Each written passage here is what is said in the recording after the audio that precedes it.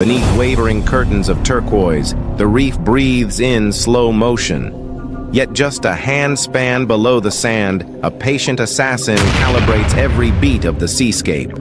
This is the bobbit worm, Eunice aphroditois, a shimmering, oil-slick ribbon that can reach three meters in length while remaining slimmer than a shoelace.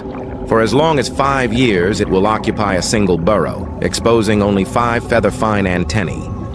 Those feelers detect pressure waves as delicate as the flutter of a wrasse's gills, or the tap of a diver's heartbeat.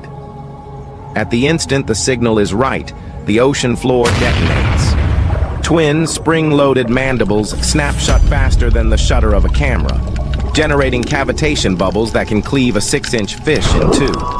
The victim, still in shock, is hauled bodily into the darkness.